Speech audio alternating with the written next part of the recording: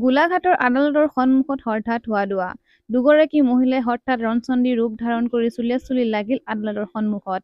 ঘটনাস্থলীত আৰক্ষী উপস্থিত হৈ পৰিৱেশ শান্ত কৰাৰ চেষ্টা কৰে।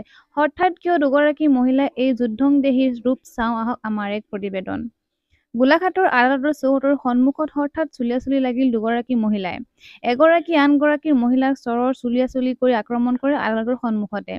পৰকীয়া প্ৰেমৰ বাবে স্বামীৰ বিৰুদ্ধে তৰা গোচৰ তৰা গোচৰৰ বাবে আদালতৰ গোচৰৰ তাৰিখ পৰিছিল আজি। তাৰ বাবে যিগৰাকী মহিলাই স্বামীৰ বিৰুদ্ধে পৰকীয় প্ৰেমৰ অভিযোগ আনিছিল সেইগৰাকী মহিলাও উপস্থিত হৈছিল আদালতত। আদালতৰ পৰা ওলাই পৰকীয় প্ৰেমত লিপ্ত হোৱা অভিযোগ তোলা মহিলাগৰাকীক দেখি ৰণচণ্ডী ৰূপ ধাৰণ কৰি চুলিয়া চুলি লগা দেখা গ'ল।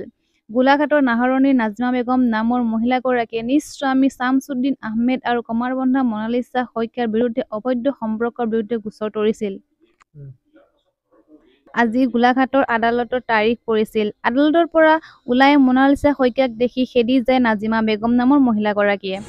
নাজিমা বেগমৰ অভিযোগ মনালিছাৰ স্বামী আৰু মনালিছাই আদালতৰ চৌহদৰ বাহিৰত মাৰধৰ কৰে নাজিমাক। যাৰ বাবে এতিয়া ভুক্তভোগী মহিলা নাজিমাই উচিত তদন্ত বিচাৰি মুখ্যমন্ত্ৰীলৈ আহ্বান জনাইছে। আনহাতে বিষয়টোৰ ওপৰত সংবাদ মাধ্যমৰ পৰা আঁতৰি থাকিল মনালিছা শইকীয়া আৰু তেওঁৰ স্বামী প্ৰশান্ত শইকীয়া।